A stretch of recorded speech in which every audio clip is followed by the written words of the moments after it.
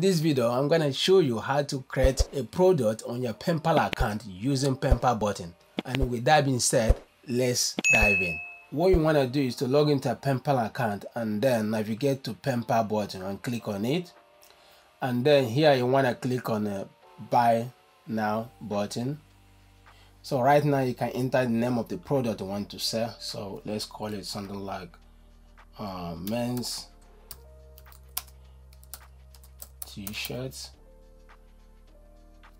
All right the price let's call it 15.99 and here you can change the currency that you want to sell with. So here i'm gonna pull maybe gbp and then here if you have like different colors and different um, uh, sizes you can use this drop down um, to sell it.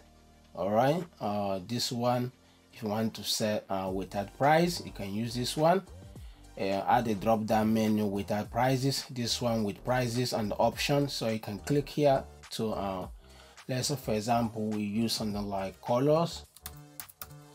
Colors here you can put something like red. And then put the price here 15.99 you can even put different price. Let's say this one black. You can put this one like 20.99 and then this one maybe pink you can put it like 9.99 and when you're done you can add another option here if you want when you don't click uh, this done button. And this one postage. If you want to charge uh, for postage and you want to enter the price here let's call it 3.99 but if you don't want to charge it leave it empty right and here I use my secure merchant id which is good okay here you want to step two. You want to track inventory profit and loss. If you want to do that click here. And then when you click track inventory then you need to uh, you know write uh, put in details how much you bought it how many stock you have and what's the cost to track your profit things like that. You can use one of these options as well. Uh, yes uh, customer can buy the item as usual. No don't let customer to buy the item when your product is sold out you don't want customer to keep buying. Or if you want customer to keep buying you can check this one. All right so but i would recommend using this one because you don't want to uh, sell what you don't have in stock. All right so here if you want to take customer to uh, another page um let's say if your product's finished and they click they don't want to buy you might send them to different page for more information about the product you're selling. Let's move into step three and here step three uh is this one. Do you want to let your customer change order quantity? You don't want that. You don't want to sell what you don't have. So you want to keep it as no. Can your customer add special instruction in a message to you? Yeah customer can uh, send instruction like what they want. Customer can add instruction here. Maybe about size about color. They can add um, any details they want. So you need to uh, make sure you check this one yes. But if you don't need the customer to contact you to write any message just click no.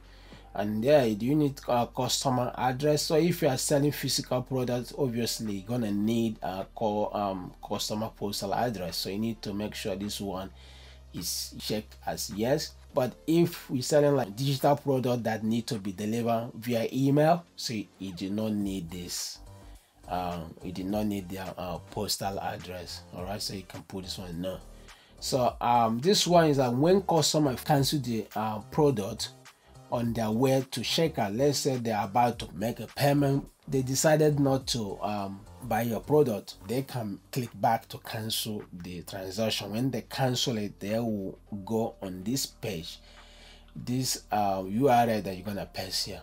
And then on the other one if you want customer to uh, when they finish buying your first product if you want to send them to thank you page for for buying your product you can paste the url right here as well okay so uh, you can you know do whatever you want to do uh, with these two uh, tab right here all right normally when i'm building sales funnels I always use this um, cancel and the checkout to redirect them to another offer after buying the uh, first product all right so i'm to be making tutorial showing you step by step on how to build a sales funnel using google site all right so i will cover this part as well adding my URL and showing you how it redirect to another page. Alright, so if you haven't yet subscribed, make sure you hit that subscribe right now so you don't miss any of our weekly videos. Alright.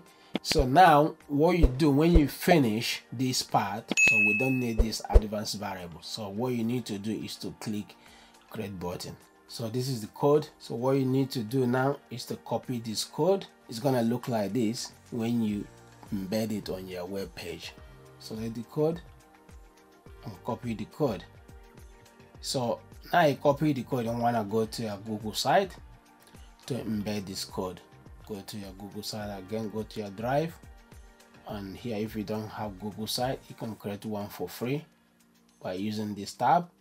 So now I'm gonna go here and I'm gonna paste this code so you see how it works. Now I'm gonna click here to embed. Click embed and embed code and then embed this code click next and then you can move it position it in the center or anywhere you want it to be. So that customer can come and actually buy a product. You can actually come here. If you sell a men t-shirt you can use this icon to find a product image on google all right? So what you're gonna do you can go there called men's t-shirt just example to show you. Okay and then we can just click this one and then click insert. And then this is men t-shirt. You can put the price just beside it or you can just drag it under this. So when customer come here they can select the color and price and buy the product. All right so what you're gonna do click publish. And then let's view the site